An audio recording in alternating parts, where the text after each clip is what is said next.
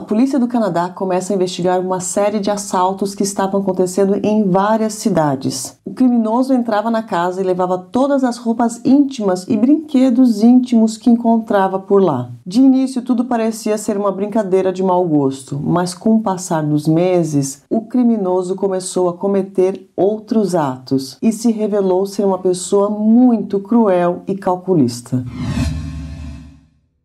Oi pessoal, tudo bem com vocês? Meu nome é Gisele Hildes e sejam todos bem-vindos a mais um vídeo aqui do canal. Antes de começar o vídeo, por favor, deixa aquele like que me ajuda bastante e se inscreve aqui no canal se você não for inscrito. Bom, o caso que eu, que eu vou contar para vocês hoje aconteceu então em várias cidades. Entre 2007 e 2010, vários ataques muito estranhos aconteceram em Ottawa, Tweed, Belleville e Brighton, e nas redondezas dessas áreas também. Essa foto do mapa mostra exatamente a área onde os casos aconteceram. E o que, que acontecia nesses ataques aí estranhos? Bom, o, a pessoa, né, o criminoso que entrava nas casas, ele não levava nenhum dinheiro, joia, objetos de valor, nada. Ele só levava todas as roupas íntimas femininas e também se tivesse algum brinquedo ali íntimo, ele levava isso também.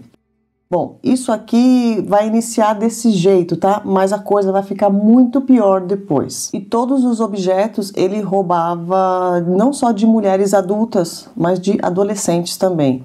As pessoas que tiveram ali os seus utensílios né, furtados tinham entre 11 e 30 anos de idade. E o negócio vai ficando cada vez mais preocupante, tanto é que a polícia lá de Tweed vai na mídia em outubro de 2008 e avisa todos os cidadãos que, olha, estava tendo muitos ataques, assaltos ali às casas, por favor, todos tranquem as suas portas e mantenha tudo fechado aí dentro de casa. E aqui nesse ponto a polícia começou a ficar ainda mais preocupada porque Além de roubar ali as roupas íntimas, o criminoso também estava roubando fotos das mulheres e deixando recados no computador da casa dessas pessoas.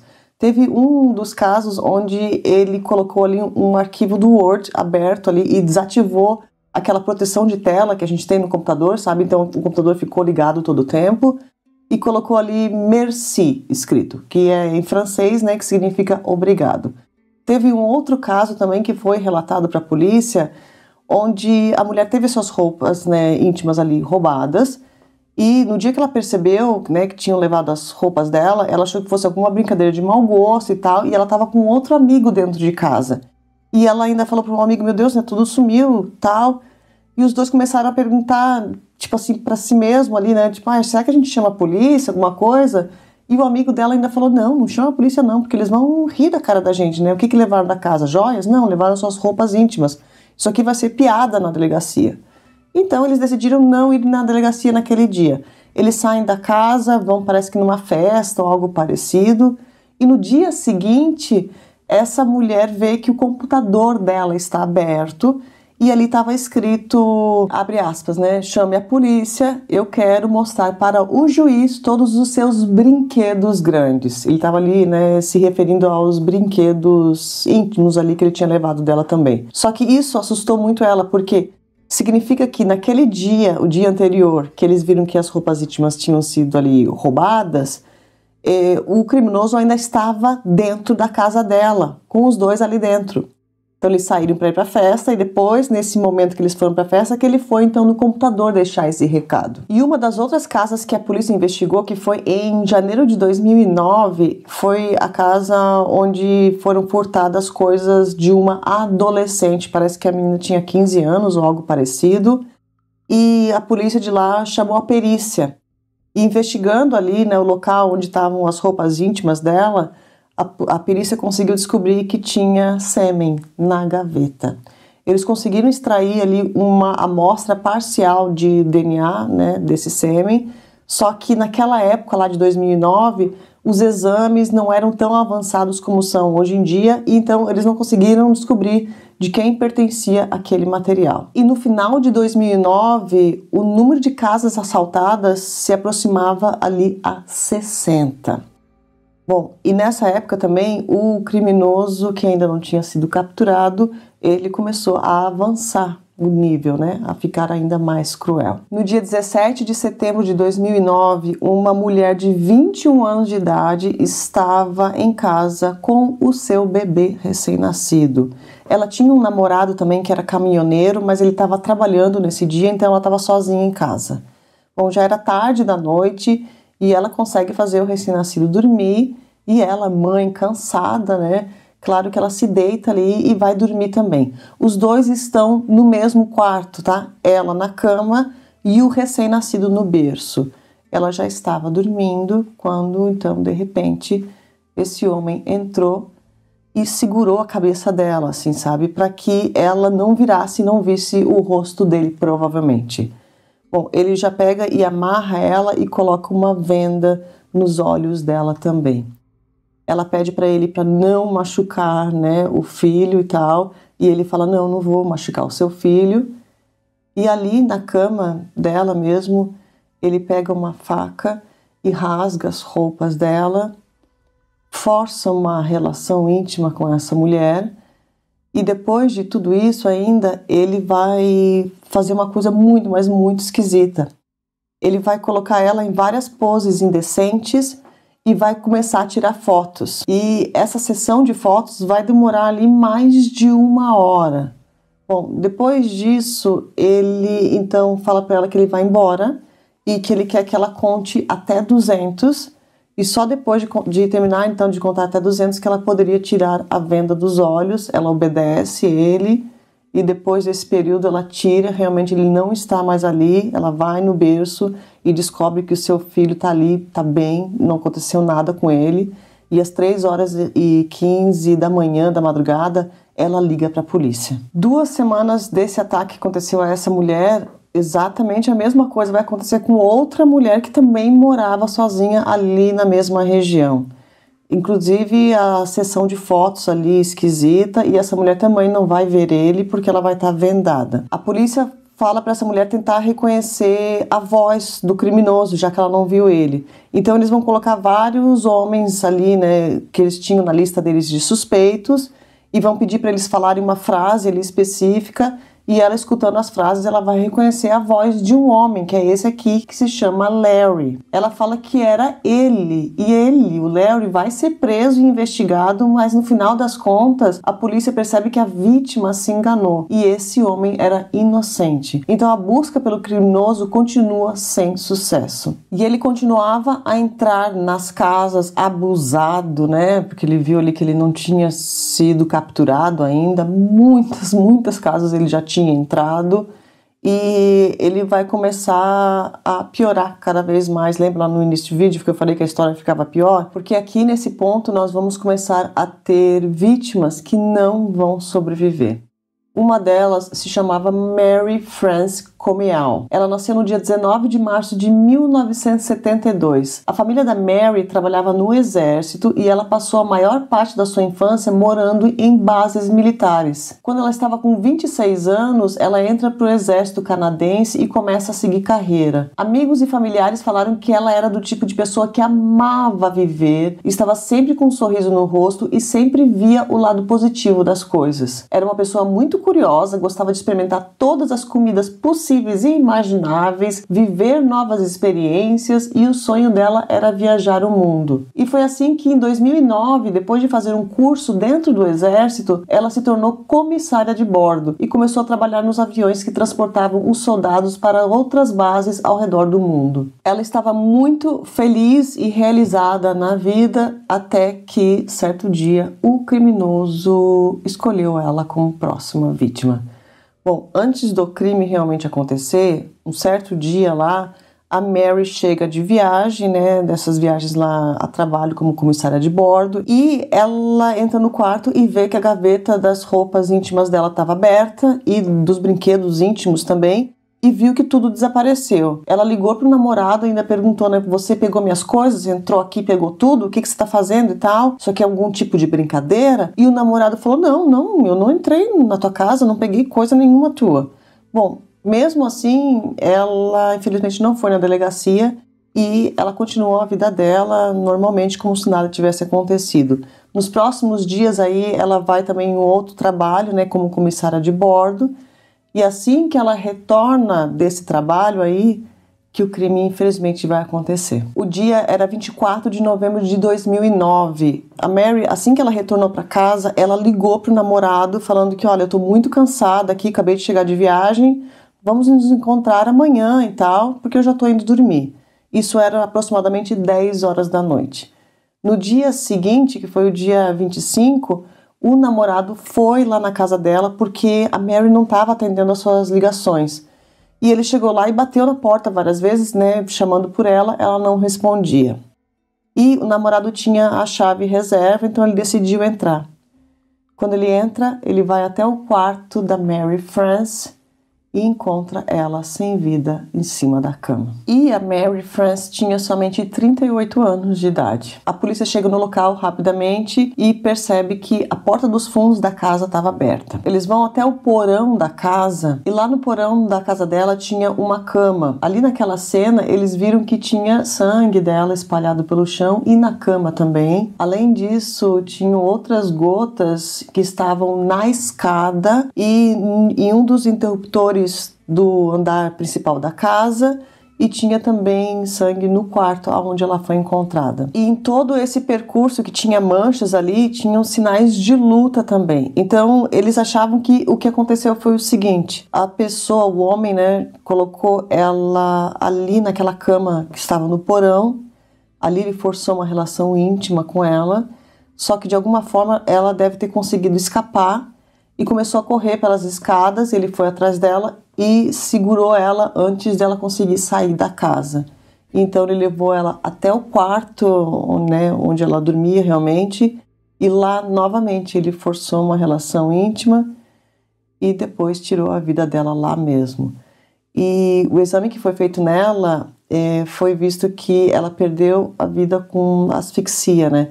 E tinha também aqui na boca e no nariz dela tinha sinais de fita.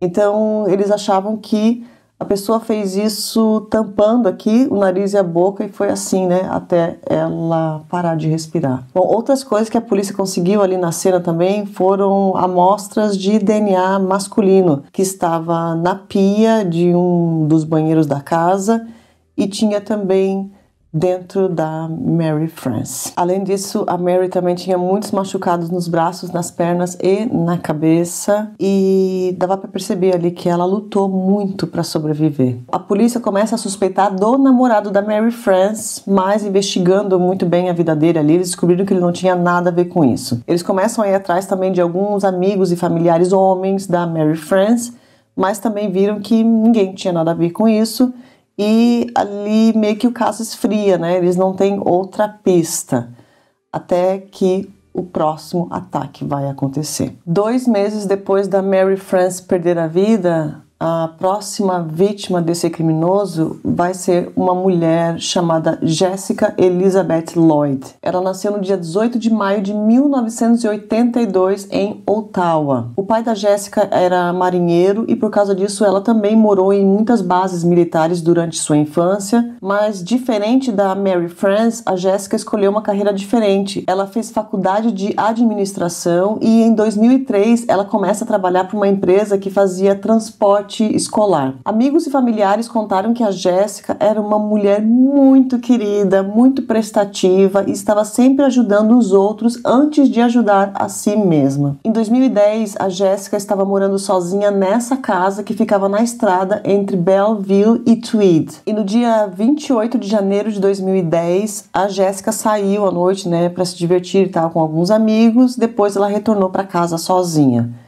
Às 22h36 dessa noite, ela envia uma mensagem para um amigo dela falando: Olha, eu já cheguei em casa, estou bem e estou indo dormir. No dia 29, ela teria que ir trabalhar, mas ela não apareceu no trabalho, o que era muito estranho, porque a Jéssica sempre foi uma pessoa muito responsável. Ela nunca tinha feito aquilo, tanto é que a empresa onde ela trabalhava ficou desconfiada, falou: gente, não, tem alguma coisa de errado, ela jamais iria faltar o trabalho sem avisar e eles entram em contato com a família. O irmão da Jéssica, que era muito, mas muito grudado com ela, ele foi na casa nesse mesmo dia para ver né, se estava tudo bem com a irmã dele. Quando ele chegou lá na casa, ele viu que a bolsa da Jéssica estava lá, o telefone, os óculos, todos os pertences que geralmente ela saía de casa com aquilo estavam tudo lá na casa mas a Jéssica tinha desaparecido. Bom, a polícia foi chamada e uma busca pela Jéssica vai iniciar. Eles vão espalhar ali cartazes pela cidade também, né, falando que a Jéssica está desaparecida, se alguém tinha visto ela e tal. E foi assim que, com esses cartazes todos e com essa divulgação do desaparecimento dela,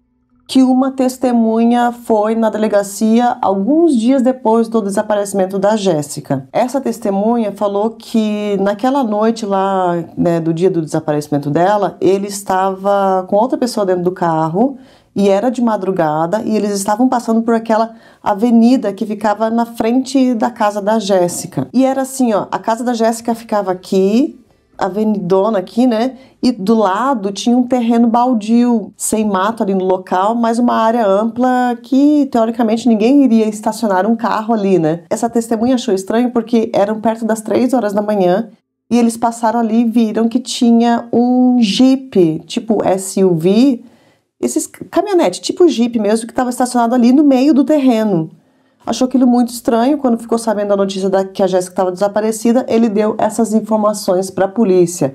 E é aqui que esse caso vai começar a ser desvendado. Por quê? Com essa informação aí da testemunha, a polícia retorna lá na casa da Jéssica. Agora, olha a sorte e meio que o universo também ali ajudando, né, para que esse caso fosse solucionado. Essa testemunha deu as informações para a polícia dias depois do desaparecimento da Jéssica. Assim, quando a polícia foi lá na casa dela, eles viram que a impressão do pneu do carro ainda estava lá no terreno. E isso só foi possível de acontecer porque tinha nevado antes da Jéssica desaparecer. Só que não nevou muito depois dela desaparecer também, o que fez com que as impressões ainda fossem visíveis, porque se tivesse nevado muito, aquele seria tudo coberto de neve novamente e não teria como recuperar nada. Outra coisa também é que estava muito, mas muito frio, congelante.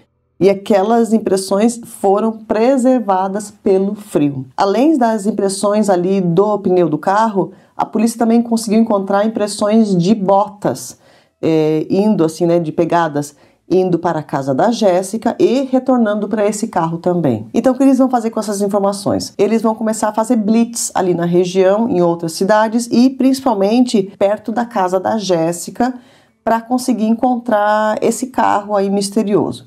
Então eles estavam procurando por um carro estilo Jeep e com aquele pneu. É, uma coisa também que facilitou ali a busca por esse carro é que todas as caminhonetes estilo Jeep elas usam um certo tipo de pneu aquele pneu que estava na caminhonete era muito raro de ser usado, então fez com que a busca deles eh, fosse menor ainda, né, e fosse mais fácil para eles encontrarem. Então os policiais das Blitz vão começar ali a verificar todos os carros, né, que tinham as mesmas características e vão anotar ali os, as placas dos que se enquadravam com as características que a polícia estava procurando. Um dos cidadãos que vai parar nessa Blitz aí tinha um carro que é esse aqui, que é um Pathfinder, e o pneu do carro dele dele era exatamente o mesmo das impressões que foram encontradas na casa da Jéssica. Os policiais que estavam fazendo a blitz anotaram que essa pessoa tinha todas as características que eles estavam procurando, só que de início eles não desconfiaram dele, porque enquanto o outro policial está lá verificando o pneu do carro, o segundo policial tá ali, né, com o motorista perguntando, né, ó, oh, boa tarde, meu senhor, estamos fazendo uma blitz aqui. Por favor, me entregue a sua identidade e a sua carteira de habilitação. Só que esse policial que está ali verificando com ele, ele percebe que, meu Deus, você é o Coronel Russell Williams. Sim, esse homem que estava dirigindo esse jeep aí era um cara do exército, bam bam bam do exército, assim, um comandante da base militar de uma das melhores, das melhores não, desculpa, de uma das maiores bases militares lá do, do Canadá. Então o cara era uma pessoa muito, mas muito respeitada, assim, por toda a comunidade. E o policial ainda falou: Nossa, que prazer conhecer você, coronel e tal. E o coronel ainda fala para ele, né? Tipo, ah, eu tô com pressa aqui, sabe? Porque eu tô com uma criança doente em casa, então eu preciso ir rápido. Você pode me liberar aqui da Blitz? E o policial fala: Não, não, claro, claro, meu senhor pode ir e liberam ele. Bom, assim que acaba essa blitz, esses policiais então passam todas as informações lá para o departamento que estava investigando o desaparecimento da Jéssica E só que quando o policial está entregando ali as informações, fala ainda pro outro policial, né? Tipo, ó, oh, isso aqui são os carros que se enquadram com as características. E uma coisa muito estranha: um dos carros que se enquadram com as características é o do coronel Russell Williams. E ele estava com pressa ali, porque, né, ele falou que ele estava com o filho dele doente em casa, tinha que ir, a gente liberou ele e tal, mas o carro dele se enquadrou aqui, enfim, tal. Tudo bem, esse policial saiu e o que estava ali encarregado do caso começou a olhar a ficha do coronel e descobriu que o coronel não tinha nenhum filho, ou seja, ele mentiu ali pro policial. Bom, mas antes de eu continuar a história aqui, deixa eu explicar bem quem que é esse tal coronel aí Bam Bam Bam. O nome dele é David Russell Williams, mais conhecido como Russell. Ele nasceu no dia 7 de março de 1963 na Inglaterra. E ainda pequeno, a família dele se muda para o Canadá. Quando ele tinha 6 anos, os pais dele se divorciaram e a mãe dele se casa com outro homem. O primeiro emprego do Russell foi ainda na época de escola escola, ele era entregador de jornais. E ele aprende também a tocar piano e trompete, e ele gostava muito, mas muito mesmo de fotografia. O Russell fez faculdade de Economia e Ciência Política, e na época da faculdade ele tinha o costume de assustar os seus colegas. Ele fazia essa brincadeira aí com os amigos que era o seguinte, ele entrava no alojamento de uma pessoa, se escondia dentro né, do quarto dessa pessoa e ficava horas, mas horas escondido mesmo, esperando a pessoa voltar. E quando né, o colega lá voltava para o alojamento, ele pegava e saía do lugar, local onde ele estava escondido e dava um susto na pessoa. Bom, naquela época, tudo isso aqui parecia ser só uma brincadeira, tá? Não tinha nada demais. Só que, analisando esse caso aqui, lembra que o criminoso entrou na casa de algumas pessoas e ele ficou escondido lá enquanto a pessoa estava dentro da casa? Teve um dos casos que eu, eu detalhei aqui para vocês, mas tiveram outros casos que também eles acreditam que ele continuou ali na casa enquanto a vítima estava lá e sem atacar essa vítima. Então, parece que o Russell, naquela época de faculdade mesmo, ele começou a aprender o que ele ia meio que se profissionalizar depois na sua vida adulta. Bom, depois de se formar na faculdade, ele decide se tornar um piloto da Força Aérea. Colegas dele falaram que aquela decisão foi muito estranha, porque não tinha nada a ver com o que ele estava estudando. E uma coisa muito curiosa é que é, naquela época teve o filme Top Gun, lembra? Com o Tom Cruise. O filme Top Gun foi lançado em 1986. E os amigos do Russell contaram que ele era viciado nesse filme, ele assistiu diversas vezes. E os amigos contam que na época que o Russell decidiu se juntar à Força Aérea, eles começaram a comentar ali entre si, né? Falaram: Meu Deus, será que ele tá querendo ser o Tom Cruise do Top Gun? Porque ele adorava filme e tal, por que, que ele teve essa decisão né, de se tornar um piloto,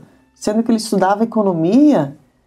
E todos acreditam que isso realmente aconteceu, porque foi um ano depois do filme ser lançado, o Top Gun, que em 1987 o Russell oficialmente entra para a Força Aérea Canadense. Então, logo ele se torna um piloto e ele vai pilotar aviões de transporte, vai transportar também a rainha Elizabeth e outras grandes celebridades e na carreira ali dentro do exército ele vai subir de cargo muito rápido. No ano de 2010 ele já era o coronel Russell Williams e comandante, o chefão mesmo da base militar que ficava perto de Tweed Tweed. Agora, para complementar a história dele, é importante falar que ele era casado. Ele se casou em junho de 1991 com a Mary Elizabeth Harriman. A Mary também tinha uma carreira, mas em outra área. Os dois nunca tiveram filhos e aparentemente eles se davam muito bem, eram vistos constantemente jogando golfe. Os dois eram muito bem sucedidos, tinham uma casa em Ottawa, que é essa aqui, onde a Mary ficava, e eles tinham outra casa, que era essa aqui, que ficava em Tweed. Tweed. Eles compraram essa segunda casa porque a base militar ficava perto de Tweed ali. Então, o combinado seria que o Russell ficaria durante a semana nessa casa de Tweed e a Mary ficaria lá na casa de Ottawa, perto da onde ela trabalhava, e nos finais de semana os dois ficavam juntos. Agora vocês lembram das investigações do caso, das áreas onde aconteceram lá todos os furtos e todos os casos, né, de crueldade com as mulheres? Esse local era muito perto dessas duas casas que pertenciam ao Russell. Bom, esse então é uma, um resumo aqui da história da vida dele. Agora vocês conseguiram entender, né, que o Russell era o bam bam bam lá da Força Aérea Canadense. E os policiais que estavam investigando esse caso começaram a desconfiar dele por causa do pneu, né, que se enquadrava lá nas características, e o carro também, né? Se bem que a testemunha não sabia qual era o carro é, exato.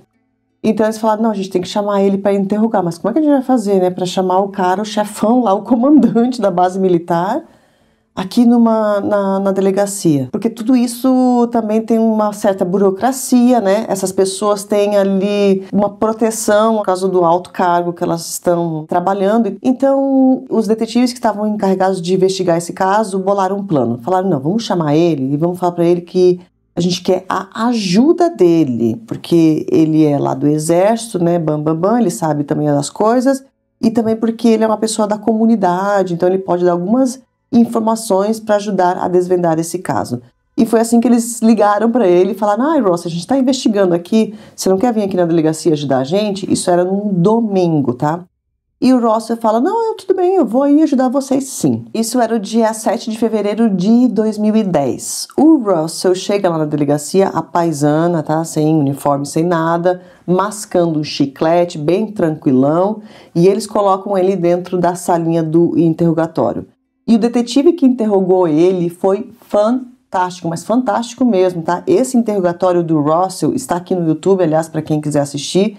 Eu, eu assisti quatro horas de interrogatório que eu consegui encontrar, mas eu sei que o interrogatório dele inteiro tem nove horas, então não é todo o interrogatório que tem disponível, mas parte dele está toda, toda aqui no YouTube.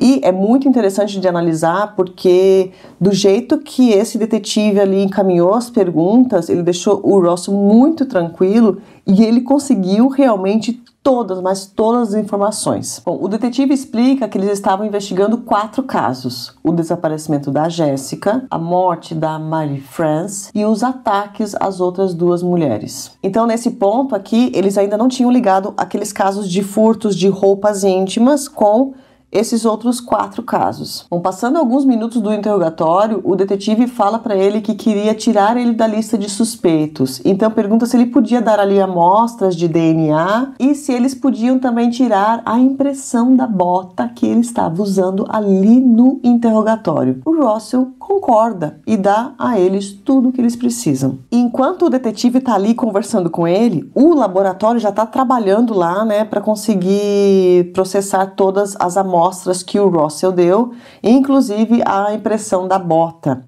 E uma hora e meia depois, aproximadamente, que eles conseguiram esse material, eles conseguiram verificar que realmente aquela bota que o Russell estava usando ali no interrogatório era a mesma bota que esteve lá na casa da Jéssica. Então, aqui nesse ponto, eles tinham o pneu do carro dele, que era idêntico ao pneu que deixou as marcas no terreno baldio ao lado da casa da Jéssica, e a bota que também era idêntica. E é agora nesse ponto que a casa caiu ali pro Russell. Bom, depois com todos informações, esse detetive muito calmo novamente, ele vai entregar ali, né, na pasta dele, essas fotos ali da impressão da bota e do pneu lá do terreno baldio e a foto do pneu do carro dele e da bota que ele estava usando ali dentro do interrogatório. O Russell vai pegar esse papel e vai falar: "Ah, é, porque o detetive falou, né, são idênticos, é a mesma.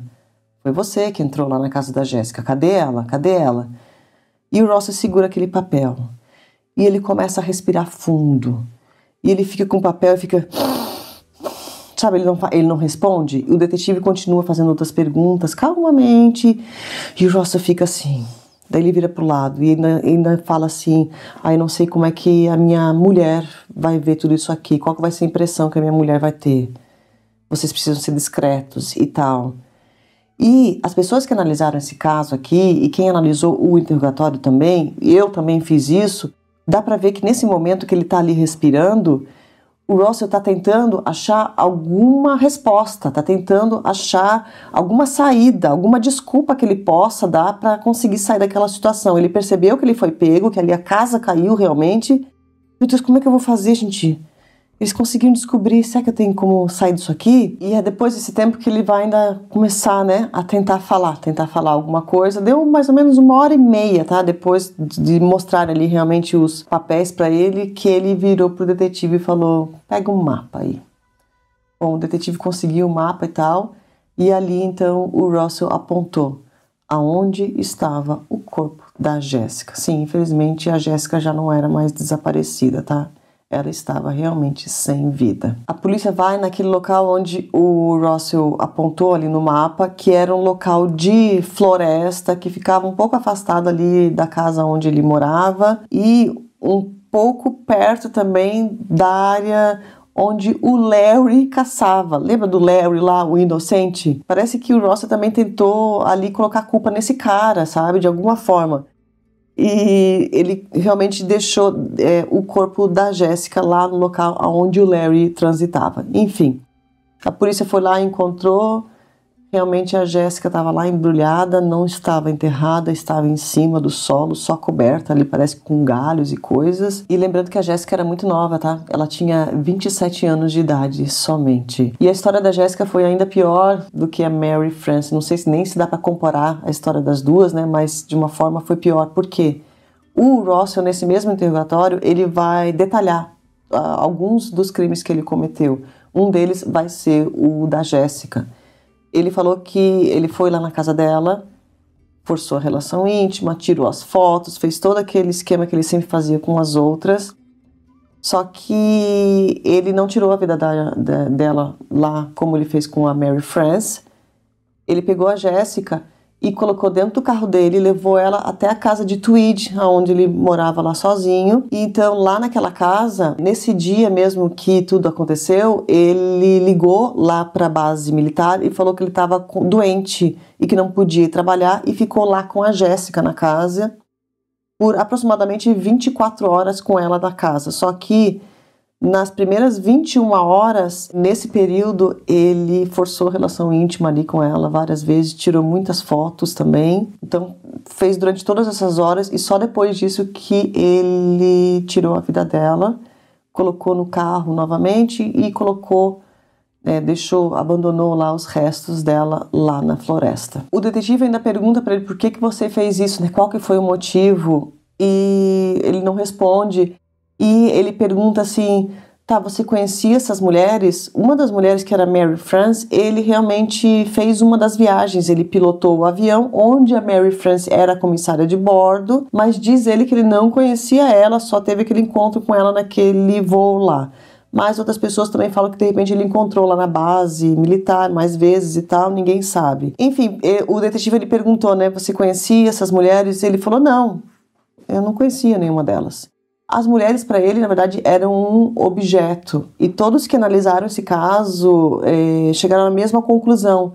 Se ele não fosse parado naquele momento, do jeito que estava escalando as coisas, cada vez ficando pior, pior, pior, ia realmente aumentar, aumentar o número de casos, aumentar o número de vidas perdidas e aumentar a crueldade também com essas mulheres. E agora chega o momento que a polícia vai é, ligar todos os casos, os casos de furtos e os casos né, das duas mulheres lá que foram atacadas por ele e as duas que perderam a vida.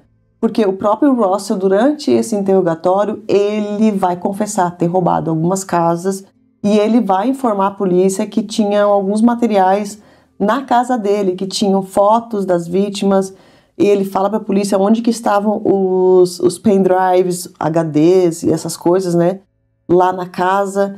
A polícia, enquanto ele está lá no interrogatório, eles vão também nas duas casas que pertenciam a ele, a de Tweed e de Ottawa, e nas duas casas eles encontraram várias, mais várias coisas. O Russell documentou tudo. Além de tirar fotos das vítimas, ele tirou fotos dele mesmo usando as lingeries. Algumas fotos foram tiradas nas casas das vítimas, outras na casa dele. Além disso, a polícia encontrou caixas e caixas de roupas íntimas que ele roubou. Eram 1.400 600 peças de roupas íntimas femininas, mais de 3 mil fotos dele usando as roupas íntimas. Tinham fotos também das próprias mulheres que eram donas dessas roupas íntimas e dos brinquedos também. E tinham também planilhas onde ele anotou o tipo de peça, de que casa pegou, a data do roubo e assim vai. Agora, o mais chocante de tudo isso é que tinham vídeos também. Sim, ele filmou o ataque que ele fez aquelas duas mulheres que sobreviveram. Ele filmou também ele forçando a relação íntima com a Mary France, também tirando a vida dela. Além disso, ele filmou tudo o que aconteceu com a Jéssica, né, ali na casa dela, na casa dele em Tweed, e também o ato ali dele tirar a vida dela, tá tudo documentado. Aliás, esses vídeos estão com a polícia lá canadense e eles deram uma nota lá para a mídia na época que tudo aconteceu, falaram: nós, nós temos todos os vídeos, isso vai ficar tudo na delegacia até o dia que o Russell perder a vida. Depois deste dia, então, a gente vai destruir todos esses vídeos aqui dessas vítimas. Outra coisa também é que a Força Aérea lá do Canadá ficou na surpresa com tudo isso, é claro. Eles entregaram para a polícia toda a agenda do Russell e eles descobriram que nos dias que tudo aconteceu, ele realmente estava perto dos locais. Aliás, as casas onde ele roubava eram muito perto da casa dele, da casa de Tweed e da casa de Ottawa também. Teve alguns assaltos que ele fez da casa do vizinho e do outro vizinho do lado também. Era uma coisa ali que era no mesmo bairro. Então, mesmo ele falando que ele não conhecia as mulheres, muitas delas, eh, dessas mulheres e dessas adolescentes também, ele conhecia, assim, porque ele, os vizinhos falaram que ele costumava ali caminhar durante a noite na rua e tal, fazer exercício físico. Então, assim, provavelmente ele achava sua próxima vítima. As autoridades militares expulsaram ele e também queimaram o uniforme do Russell para que isso não caísse nas mãos de colecionadores. Mas apesar disso tudo, o Russell ainda recebe a sua aposentadoria militar anual. O Russell vai ficar preso até o dia do seu julgamento e na prisão, antes mesmo do julgamento iniciar, ele vai fazer uma coisa também muito estranha. Ele vai pegar o rolo do papel higiênico não do papel, mas sabe aquele, aquela parte de que fica no meio, assim, mais escurinha, né, do final do papel higiênico, e ele vai colocar na garganta ele vai tentar então assim tá tirando a sua própria vida, só que essa tentativa foi frustrada, ele não conseguiu. O julgamento não vai demorar para iniciar, tá? Vai iniciar em 2010, no mesmo ano que ele foi preso. Ele foi julgado por ter assaltado 82 casas também por ter ali forçado a relação íntima com as outras duas mulheres e por ter forçado a relação íntima com a Mary France e com a Jéssica e, é claro, por ter tirado a vida das duas também. A sentença saiu no dia 21 de outubro de 2010. O Russell foi condenado a 120 anos pelos furtos que ele cometeu lá das casas, né, as 82 casas. Além disso, também ele foi condenado a duas sentenças de prisão perpétua por ter tirado a vida da Mary France e da Jéssica também. Só que é importante falar que essas duas sentenças elas não foram consecutivas, o que nos casos dos Estados Unidos é muito comum a gente ver quando é consecutivo, ou seja, uma pena atrás da outra. Aqui o Russell recebeu não, são duas sentenças sendo servidas ao mesmo tempo. Então se equivale a uma pena de prisão perpétua, tá? No final das contas. Só que o Russell, ele tem direito à sua condicional, sim. Todas essas condenações aí de furto e tal, no final das contas, ele pode sim sair com um mínimo de 25 anos de cadeia. Então, o caso do Russell pode ser reanalisado e ele pode ter direito à sua condicional em 2035. Nessa época, ele estará com 72 anos de idade. Bom, a esposa dele se divorciou dele, né, um tempo depois que ele foi preso ali. E muitos naquela época e até hoje também desconfiam dela E porque naquela época perguntaram para ela se ela sabia de alguma coisa, se ela desconfiava de qualquer coisa né, do marido, e ela falou que não. Lembrando que tinha muitas caixas, muitas coisas ali, as evidências de todos os crimes que ele cometeu em ambas as casas, mas mesmo assim ela continua falando que ela não sabe de nada. Eu não sei, gente, eu não sei se eu acho que ela sabia de alguma coisa. Deixa a sua opinião aqui nos comentários. Bom, eu assisti muitos documentários sobre esse caso, tem muito material aqui na internet. Eu vou indicar alguns dos documentários para vocês que são os melhores na minha opinião. Tem dois documentários que foram feitos pelo The Fifth State, que são esses aqui. O primeiro conta toda a história dele, só que se eu não me engano, esse aqui foi gravado antes mesmo do julgamento iniciar. E o segundo documentário do The Fifth State foi feito mais focado no interrogatório dele. Agora, outro documentário também que eu quero indicar para vocês é esse aqui, tá na temporada 2, episódio 1. Eles analisaram o interrogatório, mas eles usam um ator que lê as falas do interrogatório e interpreta o Russell. Só que é muito interessante de assistir também porque é a visão ali dos psicólogos que analisaram né, a mente do Russell e tal para entender melhor esse caso. E tem um filme também que é esse aqui que é excelente, mas diferente dos documentários, o filme é só baseado na história. Então eles acabam colocando um personagem a mais e modificando alguns detalhes do caso. Agora aquele recadinho que eu sempre dou aqui no final do vídeo, né, o que, que a gente aprende com essa história, que é algo que a gente aprendeu aqui com outros casos que eu já contei aqui no canal. Sempre tranquem as portas da sua casa.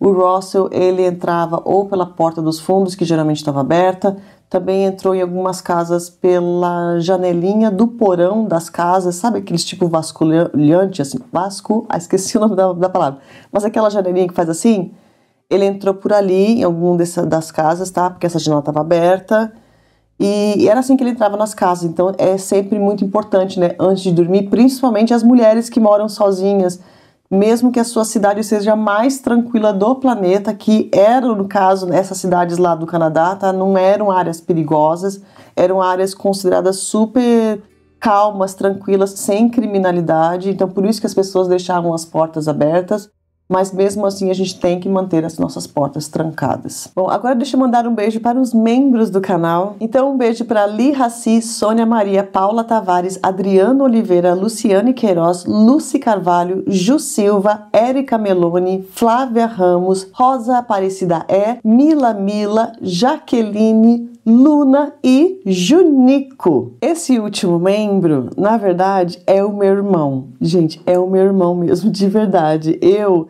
Sempre quando eu vou gravar um vídeo, eu abro aqui a, né, o YouTube Studio e olho os membros do canal para ler o nome de vocês aqui no final do vídeo, né?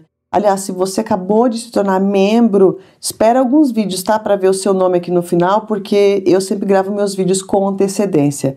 E hoje eu abri e vi Junico. Eu falei, Júnior, você se tornou membro? Aí mandei uma mensagem de áudio pro meu irmão. Falei, Júnior, o que, que você fez? Você se tornou membro aqui do canal? Ele falou, sim, claro. Tô aí te apoiando, minha irmã, pra você crescer cada vez mais no YouTube. Ai, eu achei tão lindo isso, gente. Eu fiquei até emocionada. Obrigada, tá, meu irmão? Te amo, te amo, te amo, te amo de coração.